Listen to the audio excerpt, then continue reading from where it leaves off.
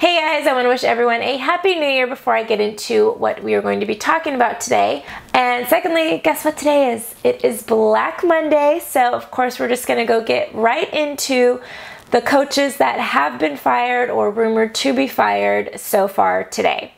Now, first of all, let's take it back a few weeks to week 15, and Jeff Fisher was finally fired after a horrible career with the Rams. Now, he actually was fired the day after tying the record for the most losses in NFL history as a head coach at 165. So he got the boot, and now the Rams are going to try to rebuild. They're here in LA. They need a team that's going to be there and going to be good because LA fans are not loyal. So you either got to be good or you got to go. And I know the Rams organization wants to stay in LA.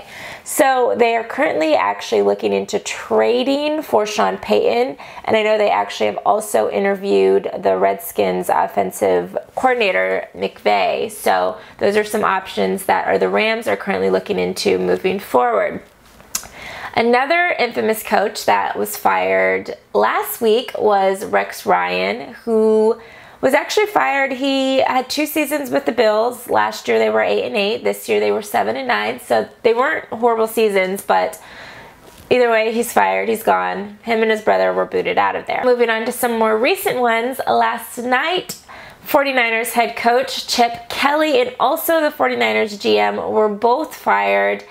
Now, Chip Kelly hasn't been doing too well since he's been in the NFL, and my suggestion is he goes back to college football because the Chip Kelly, you know, way of life isn't working in the NFL. So, bye, Chip. You won't be missed. A couple other ones today. The Jags head coach Gus Bradley was also let go.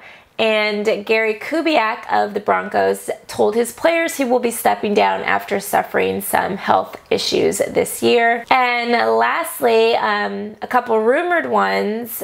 So it is rumored that Chuck Pagano from the Colts is supposed to be let go today, and also Bill O'Brien, which is surprising because the Texans made the AFC playoffs. They're actually a fourth seed and will be taking on the fifth seed Raiders this week. So they had a winning season. They were not a horrible team at all. They made, you know, fourth seed in the playoffs. So I'm really surprised on that one that he's potentially being considered to being let go. Okay, so so far at the time of filming, those are all the coaches that have been let go so far. I am doing a campaign to bring Lovie Smith back as a head coach. Look at some of these guys. I'm sure he could do run a team better than Chip Kelly could or Rex Ryan. So bring back Lovie Smith. That's the hashtag for today. all right, guys, so what do you think of the coaches that have been let go so far today? Is it who you expected to be let go? Do you want another coach to be fired? Please let me know in the comments below. And I want to thank everyone who has already subscribed to my channel. And if you haven't, please do so. I have a bunch of new videos that are going to be coming out in 2017. I promise I'm going to get better at doing these vlogs.